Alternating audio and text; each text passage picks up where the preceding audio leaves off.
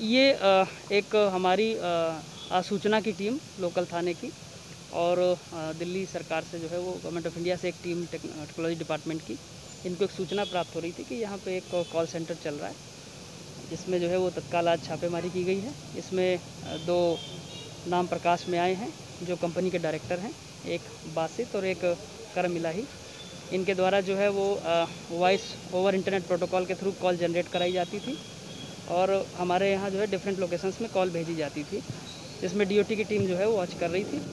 उसी क्रम में जो है वो आज इनसे पूछताछ चल रही है और अभी फर्दर जो है वो ये भी जानकारी मिल रही है कि इसमें गवर्नमेंट को काफ़ी रेवेन्यू लॉस हो रहा था और उसी क्रम में जो है अभी बातचीत चल रही है और फर्दर जो भी डिटेल निकल के आएगी आपसे शेयर की जाएगी। कितने लोगों गिरफ्तारी हुई है यहाँ पर? अभी जो है वो करम इलाही से पूछताछ चल रही है और इसमें एक और शख्स है बासित।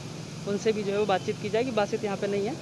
उनको जो है वो लोकेशन ट्रेस करके बात की जाएगी। सर ये कहा जा रहा है कि राजस्व को नुकसान कर रहे थे। ये किस चीज़ का राजस्व था? क्या ये कितना नुकसान पहुँचा रहे थे गवर्नमेंट अब ये डीओटी की टीम जो है असेसमेंट कर रही है। लगभग जो है वो बीस लाख से ऊपर का पर डे का नुकसान ये लोग कर रहे थे।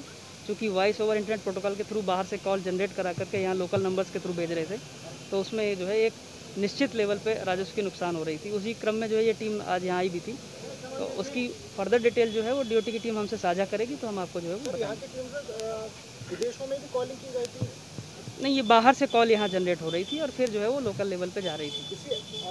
मतलब आतंकवादी से हुआ तो अभी अभी हर एंगल पे हम लोग जाँच कर रहे हैं। अभी उस पर जो है वो तुरंत कुछ नहीं कहा जा सकता। बट ये है कि सारी कॉल्स का इन्वेस्टिगेट किया जाएगा।